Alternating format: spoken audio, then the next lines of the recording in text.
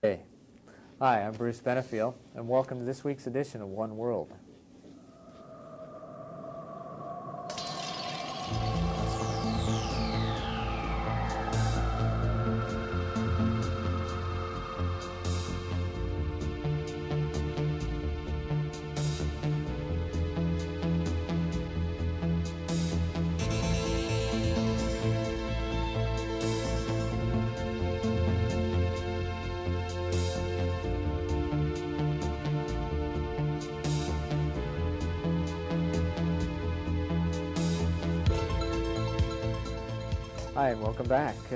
Namaste, of course, simply means I worship that which is within you, or the divine in me recognizes the divine in you. Just imagine what can be created in the world around you if you would greet everyone, even with that single thought in your mind. It'd be pretty awesome, I think. This week's guest is Thea Alexander, who's author of many books. One in specific is 2150 AD and she's got some very interesting perspectives uh, from a micro, or micro and macro cosmic viewpoint that I think you'll really enjoy listening to. Thea, welcome. I'm glad to have you here. Thank you. It's good to be here in your energy. Oh, thank you. Uh, now, 2150, if we can talk about that a little bit, if you could synopsize the book, I, I think it would be much easier for you than, than I, uh, because it does bring about some very interesting perspectives that I, for one, also feel that we're headed towards in the future. If you could elaborate on that just a little. Okay. Uh, 2150 was really written for the purpose of introducing to people the fact that they have a choice. It was written to, to demonstrate through the characters that in every moment that we live, we make decisions and that we exactly. have the right to make those decisions and um, among other things that that we have a potential that we're aware of from a macro perspective, but from a micro perspective, we have fear rather right. than the courage to pursue that which we know we, we are able to do. And so the book was really written to give people permission to be that which they have the potential to be, to reach for the gold ring. Um, it was to show them characters who could live as the, as the average person would really like to live, which is right. according to their real deep beliefs. And then, given that we're able to do that, once the time comes as we evolve, um, when we get to the point where we're able to do that, then we won't elect people anymore to office um, but because they paid X amount of dollars for advertising, right. but rather because they've demonstrated the values of love, wisdom, and leadership. And once they are, are able to live this, then their world is, is so um, attractive. And enhanced. Yes, that, that people want to be like them and pattern themselves after them. So 2150 was originally written to create role models for young people, for old people, for whoever feels that there's something a little further than today, something a little less uh, frightening, a little less um, the same as everybody else, right. and still honorable. Um, that's a little bit okay. of what it's about. Um, now, what prompted that as far as what was going on inside of you and the people around you at the time? Well, I was practicing as a counseling psychologist at the time. Okay. And um, that was many years ago. And I, I, was always very aware of young people, having started my career as a psychologist in a prep school for girls. And these young girls were. I'll bet it would be for you. you bet. Particularly for you. well, they're so beautiful and they have such high ideals and such promise but they have a lot of fear as well. Mm-hmm. Uh, so I always felt that if I could show young people um, a, a way of life, a way of making decisions and honoring themselves as they did so, that um, they could they could free themselves And only by freeing themselves can they then become what they have the potential to be. And as they do that, individuals do that, then groups will do it. And as the groups do it, countries will do it. And ultimately, the world will be united as one. One Macro- world? One world. What a novel idea. And I call that a macro society. right. Um, because if you, just to illustrate what micro and macro mean to me, Okay. that if you have a micro perspective, it would be um, making mountains out of molehills. Fear-based, basically. Yes, you, you look through a microscope. process. Yeah, you see the world at, it, like this, mm-hmm. like a horse with blinders on. And you don't want the horse to be frightened, which is why you put the blinders on. I believe that people put blinders on themselves for exactly the same reason Oh, sure. to block out the I things. I don't want to know. I don't want to see. I don't want to hear. Yeah. You know, just give me this, this, and this, and I'll be okay. And the more that prevails, the tighter they get and the, the narrower the perspective, till suddenly instead of seeing a whole bouquet of roses, you're only seeing one rose, and then it gets a little narrower and all you see is the thorn. hmm So you think the world is made up of thorns. Now there's a part of you that always knows better. But so long as you keep your sights squeezed in real tightly, you can't see it. Right. So I try to help people know that they have the opportunity and they have the right to pull these blinders out and see a macrocosmic view rather than a microscopic view where they can see not only the rose bush, the bouquet of roses, but the whole field of roses and the world beyond that hmm and the oneness of all that is and the beauty of all that is Right. rather than the fear so that they can see one another as one and acknowledge that. In going through that, were there things that, I mean, we, we think about that, that process and removing the, the blinders. What kind of how-tos came up as far as being able to, to get through that? Um, or did you begin to see that when you were um, working at the school or, or I tried to figure a way, a, a tool to Mhm. slip under the doors. When you, pardon me, this may an not be true. envelope full of shaving cream with a oh, okay. this may not be true of all teenagers, Right. but for many teenagers, if it comes out of the mouth of anyone over 20, it, do, it doesn't have value. They are going through a time in their life when, when it's necessary for them to rebel. It's necessary for them to explore, necessary for them to question, necessary for them to disagree. And in learning to honor themselves, and trust themselves and trust their own judgment, they need to set other judgments, other people's judgments aside. So I was already past 20 by the time I got around to writing, and I therefore knew I needed a tool besides words. Sure. So I chose science fiction and wove the philosophy, a macro philosophy, into a science fiction book. Fortunately for me, it became a classic. People liked it a lot. And I did slip it under the door. A lot of people buy it as science fiction. Uh, grandmothers give it to their grandchildren. Grandchildren give it to their grandmothers. And they can do that because it's a fiction. It's a story. And it doesn't have to threaten anybody. However, Yes? if you really read the book, I mean, for me, as I read anything, um, you know, as sensitive, we, we talked about being a cancer and, and the sensitivity.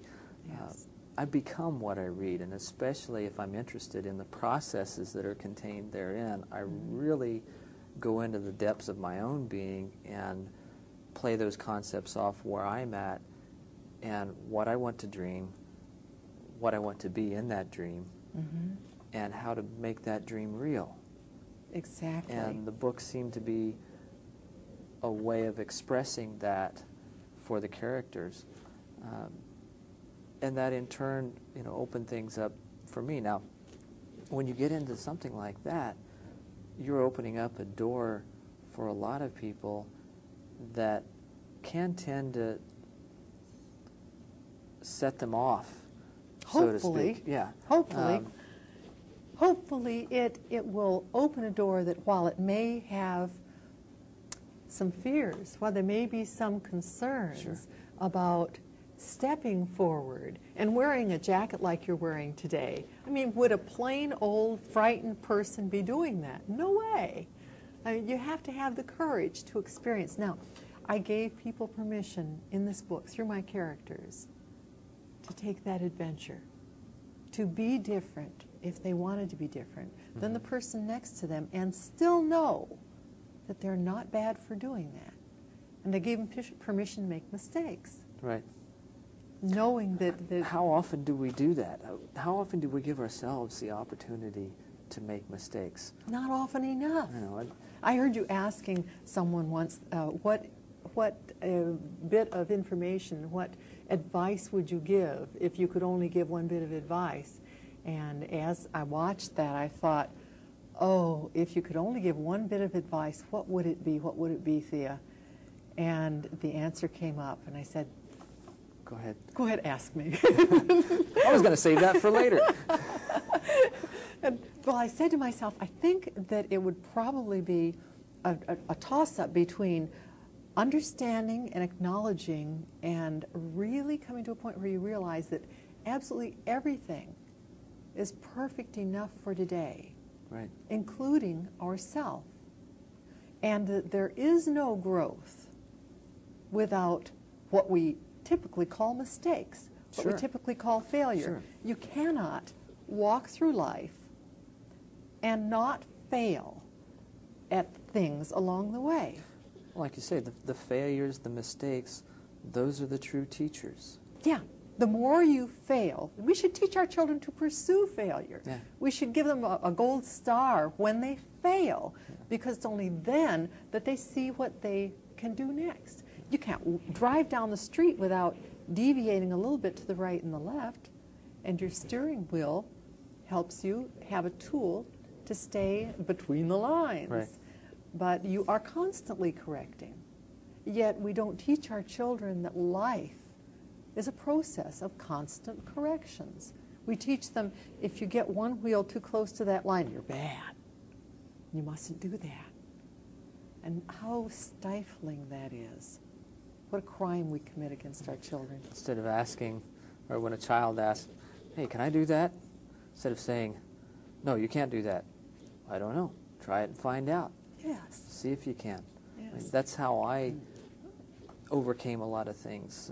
A lot of times I would go out and do something, and then I'd start asking questions afterwards. I'd, hey, can you do that? No, you can't do that. Well, I just did. How did I do it? If you can't do it, Yeah. what you know, what mistake did I make Yes. that allowed me to do it? Well, macro philosophy, um, what I call the belief system uh, that I've written the other books around as well, Mhm. uh, macro philosophy holds that there is no such thing as a mistake. There are only opportunities to grow. Right. And that by living through what we t- commonly term as mistakes, and by seeking in them the blessing, by seeking in them the thing that you can enhance your life with, you can have a whole great big pile of great things as a result of a few mistakes. Right. And some, the- sometimes those mistakes can be quite fun too. Well, they're frightening. They're sometimes frightening. Oh, you bet. Yeah, they can be fun. True. Uh, True. I always like to take the, the macro view. Yeah. Now, how do you see what you've initiated or instigated um, with the, the book? How do you see that being reflected back to you in, in the world around you, in your immediate surroundings? Well, I have a lot of good feedback. I've had over a quarter million letters from people who've read my books. Yes. and, and they tell me how it works and what it does in their life. Um, I tell you several stories. One, let me tell you a story. Okay, yeah, One of them that I'd love to. that just um, makes me feel like what I do has been worthwhile. Um, I, I hear those words a lot. It's changed my life.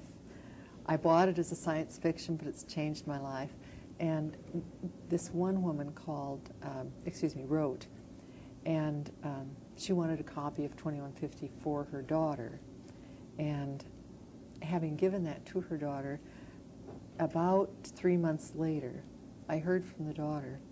And I, I was thinking about earlier conversations and that we have, have, had here and about the oneness of all and about how everything happens at its own perfect time and space right. and how you don't read a book by accident, you don't meet someone by accident, you don't cross the street by accident, nothing in your life is by accident. Okay, this woman ordered the book for her daughter, gave it to her daughter, and three months later the daughter wrote me to say thank you for saving my life. And I read on to see what in the world does she mean. I have a daughter who's an RN, but I never saved anybody's life that I know of. And she said, my husband and I and our five-year-old son took a trip to the west coast. And we were all fascinated by the Pacific Ocean, never having experienced an ocean before. And the little boy enjoyed it so much that when it was time to leave, he wanted to say goodbye to the ocean. So my husband pulled over picked up our son, left the engine running, walked to the edge of the cliff, and they waved goodbye to the ocean, and as they did so, the, cave, the cliff fell away below them, and they both fell to their death. I would have died at that instant myself. I would have followed them if I had not read 2150 just the week before. She said this happened 10 days after Mother gave me the book.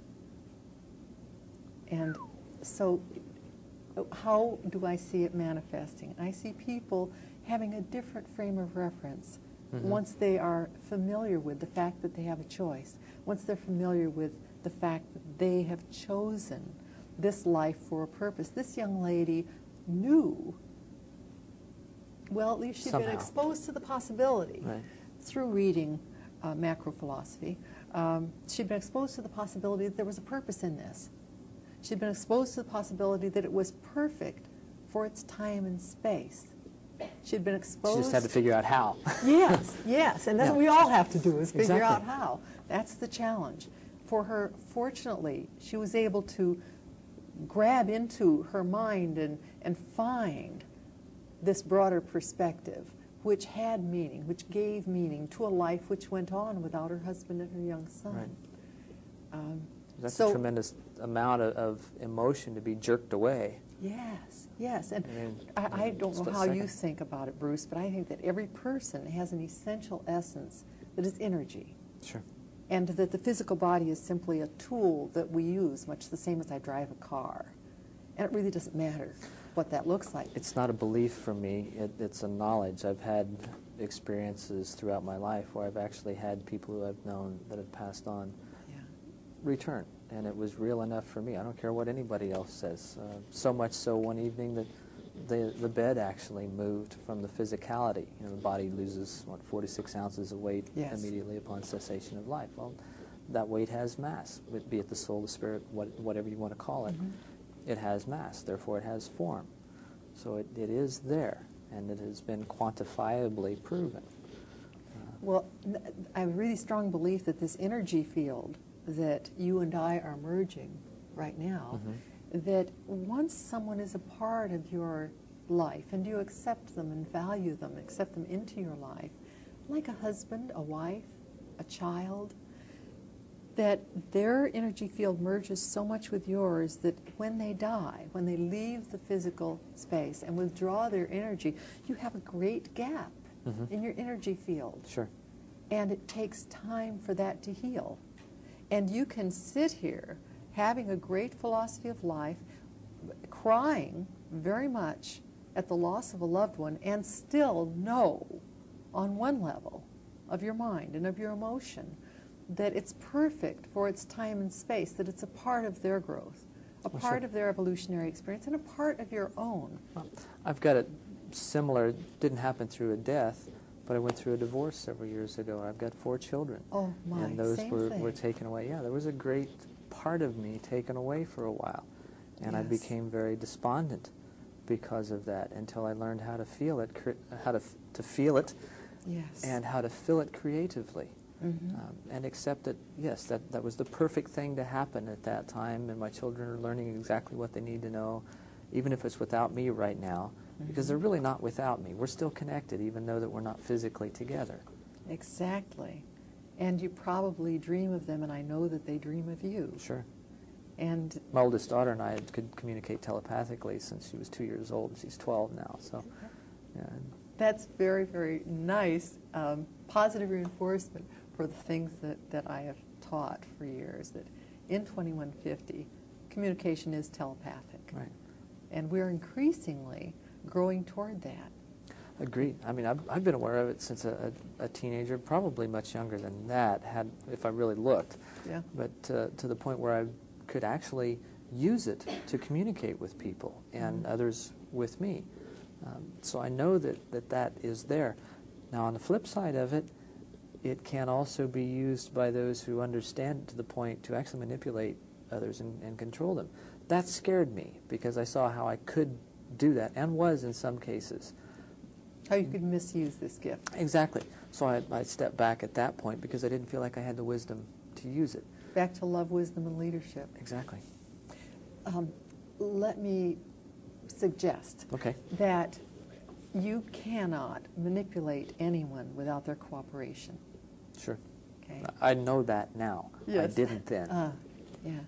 Um, I, I don't feel right within myself if I'm manipulating somebody else.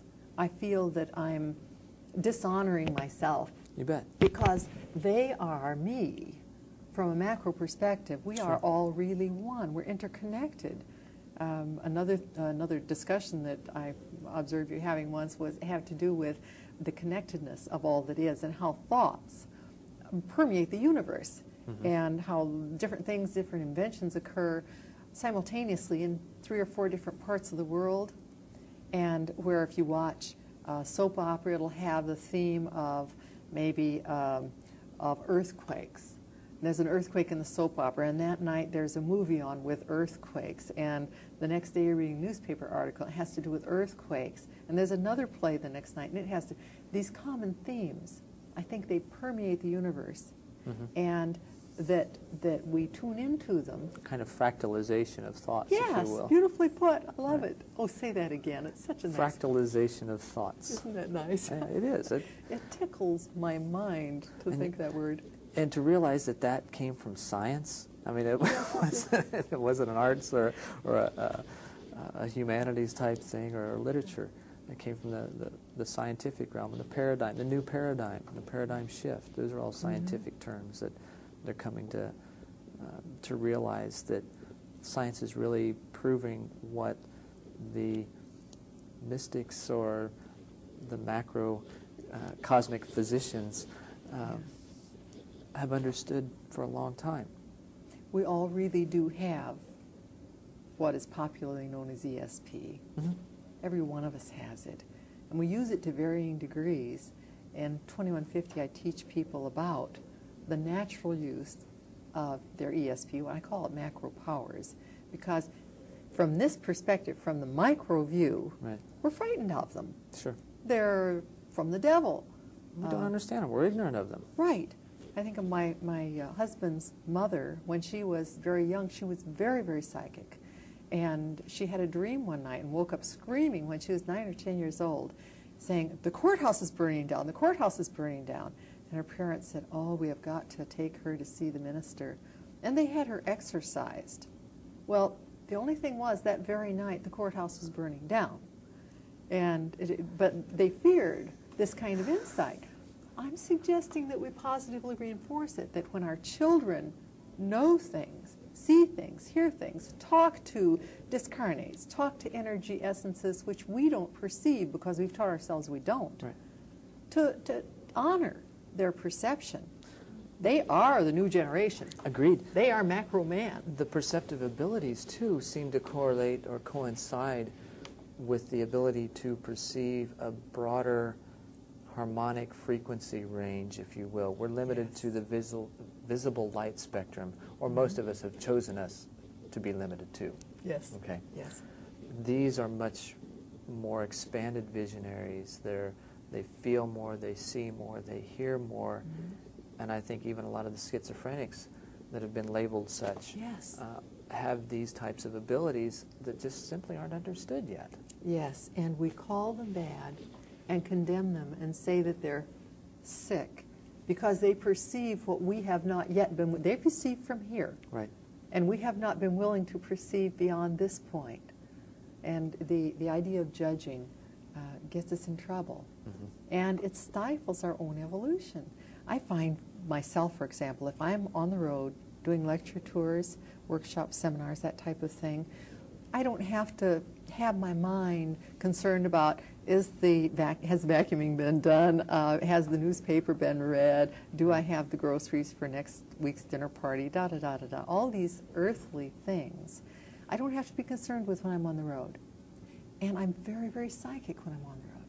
I'm very very psychic. If there's danger, I perceive it. Mhm. If there is joy, I perceive it. I sit down with a counselee and I perceive not only today, but tomorrow and yesterday as well. I can talk to them about their previous lives. I can talk to them about their future lives, as well as this one. Well, at home, I go back to this keeping the checkbook balanced, um, all the, being the things that a good wife is, and that a good mother is, and a good neighbor is. And, Well, you've and- got that microcosm, microcosmic business to take care of there, whereas when you're out on the road, it's more of a macrocosmic type thing where you're operating on that level. Um, So if, if people can learn to free themselves from, from the humdrum concerns of daily life, right. the, to the extent that we're able to free ourselves, we will manifest telepathy, clairaudience, clairvoyance, psychokinesis, telekinesis, the movement of matter with your mind. All of these things are right here in the palm of our hand. And all we need to do is begin to acknowledge them, call them what they are, instead of saying you had a hunch when you pick up the phone and you knew who was there smile deeply inside and say, Thank you, macro self. Right. I am realizing my own power Great. and my connectedness with all that is, was, or ever will be. Thea, thank you very much. I really enjoyed talking with you, and I'm sure that our audience has got some new insights, and uh, hopefully you guys will begin testing out and acknowledging yourselves and trying to uh, tap, or tapping in actually, to that macrocosmic self that you are. Thea, Nice again, being with you. nice being with you too. Thank you. Please, you've seen the show, give us a write or a call. Actually, would be better. 602-264-0986. Or you could drop us a line if you'd like. Care of One World, P.O. Box 32035, Phoenix, Arizona 85064. Let us know what your perspective of One World is and how you're living. I'm Bruce Benefiel, also known as Zendor, the door to what is. Namaste.